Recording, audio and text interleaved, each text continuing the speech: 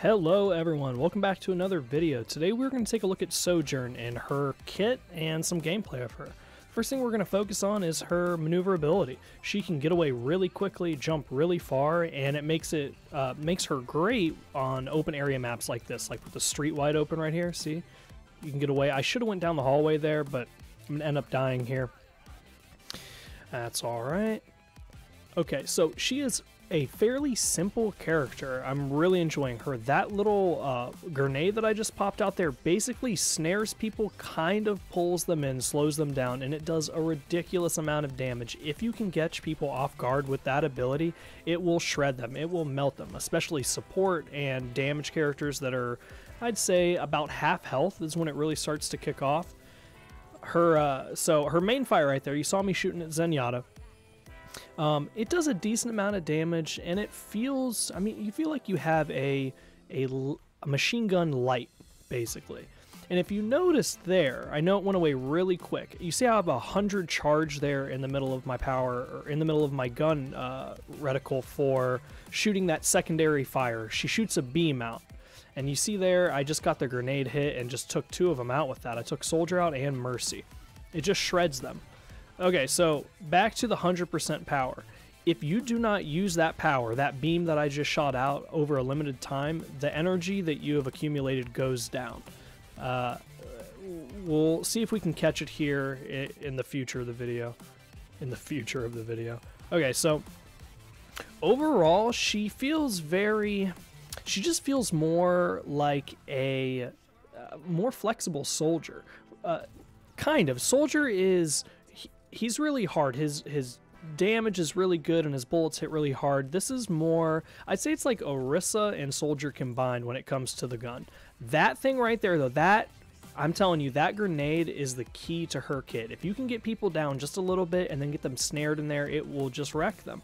I'm trying hiding in here because I'm trying to use the alt, which is, I mean, I, I guess I did, I focused on Mercy for way too long here. I'm gonna, yeah, I'm gonna lose focus and die.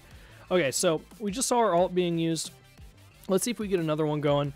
She, okay, so it's a pretty good alt, but, you know, most alts that we have, like, let's say Sh Shatter for Reinhardt, or let's say Mercy has a really crazy alt. I, the alt that Sojourn has, has, uh, does not really it's not some big flashy thing. She charges up her power and she can shoot that secondary fire, that right there, she can shoot that over and over again. It kind of takes away from her being I feel like she needs to have more of a kitted alt. It doesn't it, almost feels like she doesn't have an alt. Like, you know, shooting more I don't even know if it's more powerful. I don't believe that it is. I think that you just get to shoot it over and over again see there. You, you accumulate energy pretty quickly too. And uh, like I said, guys, I'm just talking off the cuff here while I'm watching this, so forgive me. I haven't done this very often. But Sojourn is... She's very unique. She's a very mid-class damage uh, dealer. I'd say a lot of other damage dealers feel more... She doesn't feel tanky. I know that sounds weird when we're talking about damage characters, and obviously damage characters aren't tanks, their damage, but Soldier can last a lot longer. A lot of other characters can last a lot. Even Ashe, I feel like, would be able to last longer than Sojourn.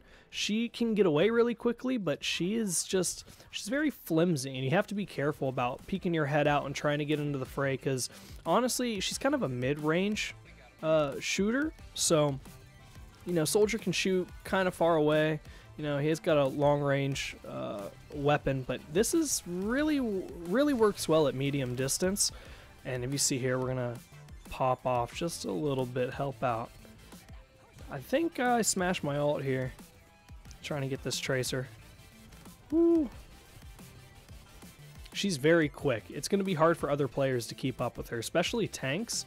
She is not a Junker Queen counter, though. I believe that Mei is a Junker Queen counter, but we'll have more on that later. So listen, that was a small clip that I put together for you guys so that we could take a look at Sojourn real quick and just randomly talk about her abilities. But overall, I think she's a fantastic addition to damage.